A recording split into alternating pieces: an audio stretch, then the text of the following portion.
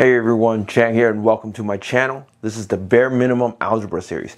Now for today's topic, I actually struggled quite a bit to figure out how to cover this in a bare minimum way.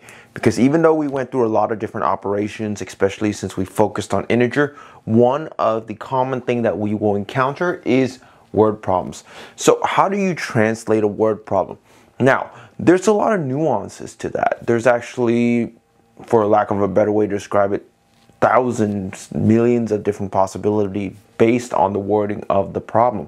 Now that's the key, right? Since it's based on the wording of the problem, honestly, the best way is a full, basically, English or whatever language comprehension of what the problem is asking. That's really the only way you can truly solve the word problem. Now, there are common words, common phrasing, common, I guess you could say, structure that we can look at. So for today's video, I'm going to focus on basically the equal sign, the plus, minus, multiplication, division, and variables. And what are some of the common words, hopefully, as shortcuts, for you to translate word problems into basic equation, and you can solve it that way. So let's begin with the first and foremost, the equal sign.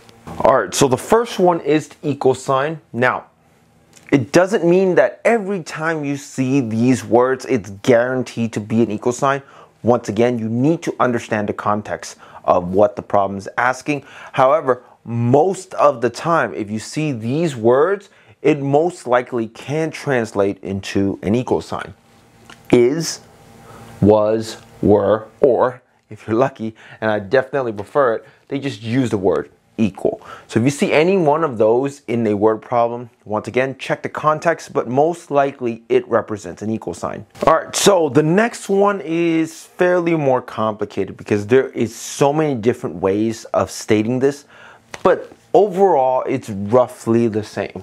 Now we're talking about addition. Addition usually means you have to be increasing or adding on or whatsoever. So we're looking for words that indicates basically in addition something is being placed on accumulated more any of those kind of words right? So most common is probably add right? You have more than so more than a number usually includes you know having a larger quantity. Of course there's specialized one you know taller you know uh, accumulate uh, increase so on and so forth. So this is just an example. It doesn't mean that you know, just because it's not saying taller doesn't mean add. And of course, we would always prefer, you know, something like plus, right? Because that is just as obvious of an indicator that it means addition. So just be very careful of these. These are only some example, but no matter what, you're looking for words with the context of it increasing, adding, doing something that makes the quantity larger that is usually an indication that it is requiring you to add. All right, so the next one is subtraction. Now before, I can't believe I forgot this, uh, but just I added it just now how sum is actually one of the most common words. So don't forget sum for addition. Anyways, the equivalence, not equivalence, a very similar word in relation to subtraction as sum is difference. So you always see sum and difference usually side by side in terms of they would say, oh, what is the sum, the end product of an addition problem? The difference is the end product of a subtraction problem. So you would have difference, which is, you know, subtraction. You have subtract. You have less than. Of course, you have the special description of where you're taking away stuff, right? It's getting lesser, smaller, however you want to call it, right? So this is only, you know, one example. Shorter, you could say smaller. It could be less than. It could be any form that it looks like the quantity of something is getting reduced, right? So reduced might be one, two. And then of course you have your standard minus. If they say minus, then it is quite obvious.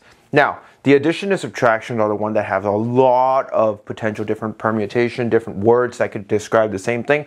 Luckily, to my understanding, and don't quote me on this, multiplication and division and all that stuff there are still a number of words, but it's actually not that bad. So let's go over multiplication next.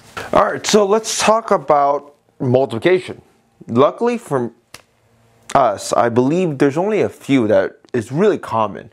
And of course, then the other ones is specialized context, right? You have the product, right? Which is usually the indication that it is the end result of a multiplication.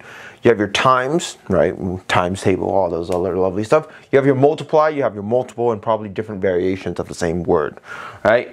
So those are the common ones that I've noticed in terms of just standard basic word problem, you know, not the ones where they're trying to make you basically take an English exam instead of a math exam because they write it in such a weird and fancy and very convoluted way right? So these are the four that I can think of, and I'm sure there are a lot more. You can definitely put them in the comments, but be wary every time you see any one of these words. It definitely indicates that you are multiplying.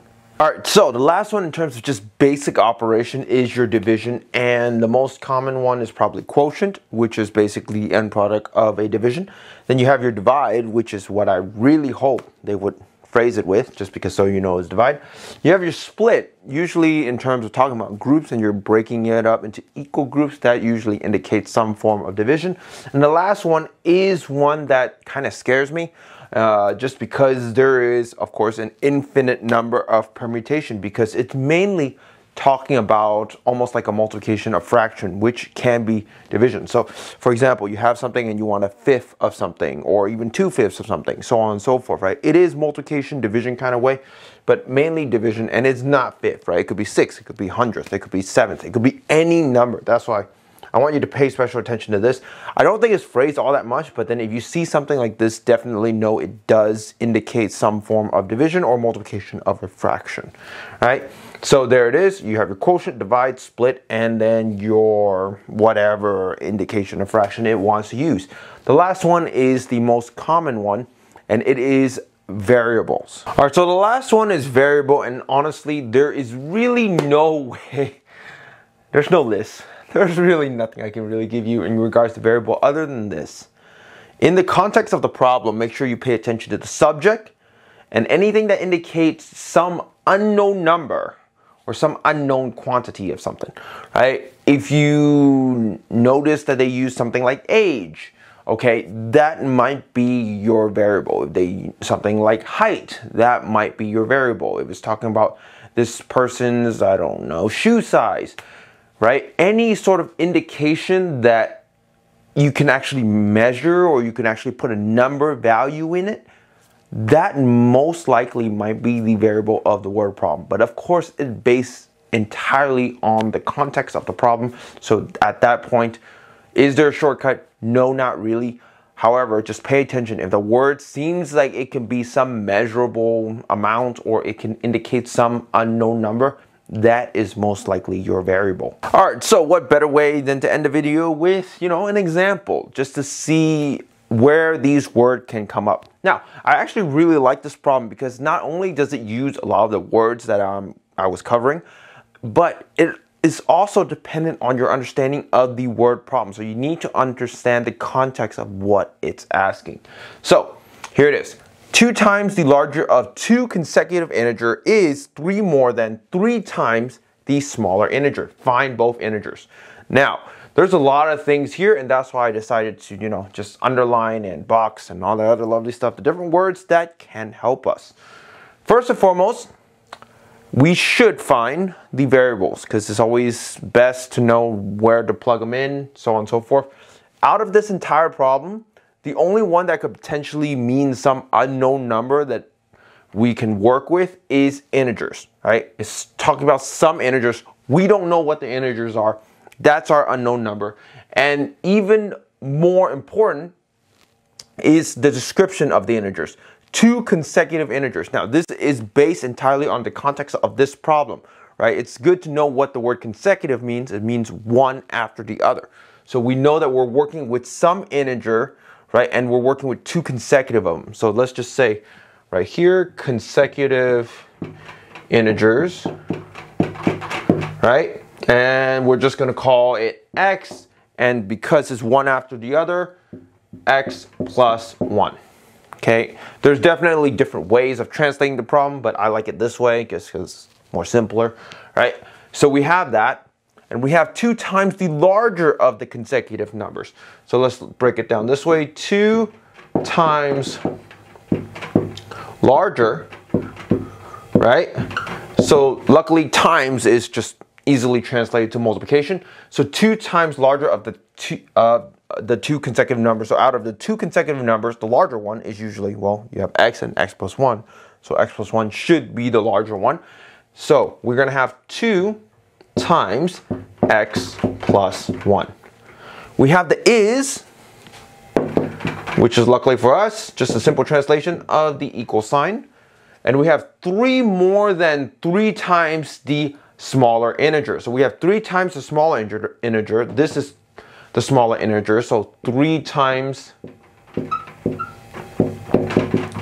smaller, which is basically 3 times x. And we have 3 more than. 3 more than. Hopefully this shows up and I'm not just wasting my time writing that doesn't show up in front of the camera. I think it does. Okay, it's gonna be so adding 3. Okay, so when we translate this whole thing, basically the problem is 2 times x plus 1 is, or equal, to 3x plus 3, right? Because 3 more than 3 times the smaller. And then we want to find both integers, so fairly simple. What you're going to do in this case, you know, standard solving, you distribute this guy and then you solve for it. You're going to have 2x plus 2 equals 3x plus 3 and then you subtract uh, well let's see. I want to move all the x on this side so let's just subtract 2 x here subtract 2x so I have x plus 3 on one side 2 on the other and then of course you know you're going to subtract 3 subtract 3 then you have x equals negative 1 okay? Now that's fairly simple but you're not done right? Remember context of the word problem is key.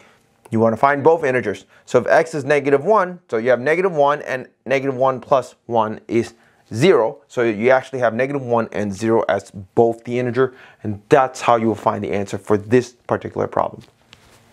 Alright, so there you have it. That is the end of this video for word problem. That was one of the more challenging one because I wanted to find a way that is either case by case or step by step just to help translate word problem because guess what? Sad to say, we are going to encounter a lot of word problems and I couldn't.